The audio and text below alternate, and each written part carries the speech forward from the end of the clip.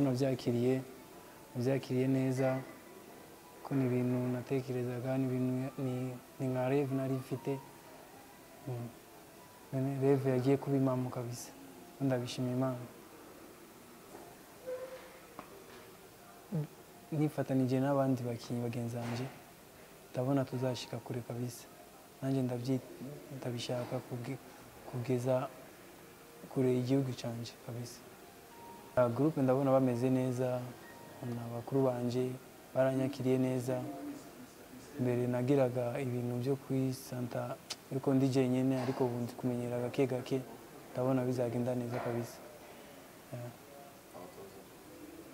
abatoza tumeranye neza kabisa.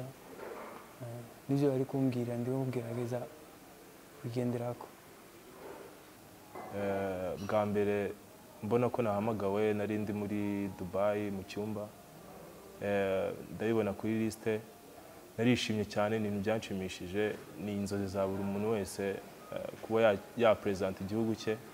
Rero ni ibintu byanshimishije cyane ndabishimira imana n'abatoza babashije kunyizera.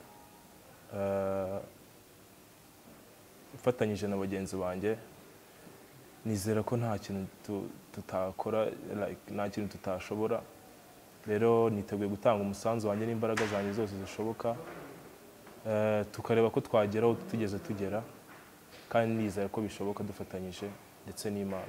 Nkihagera hano bwa mbere eh, nakiriwe neza eh, abatoza abakinnyi byasaga nk'aho banyishimiye ndabashimira cyane kuba baranyakiriye neza nkabikunda yego.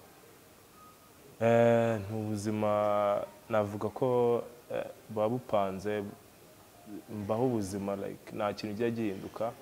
Ubuzima bwiza mva mu myitozo nkaruhuka nkaryama ni rutine nyine ihoraho itagihinduka buba bumeze neza nta kibazo. Eh, ubutumwa naha abanyarwanda ni uko eh, kuri mace bahagera ari benshi bakadushyigikira.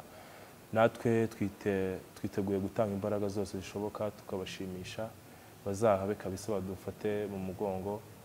Yego murakoze.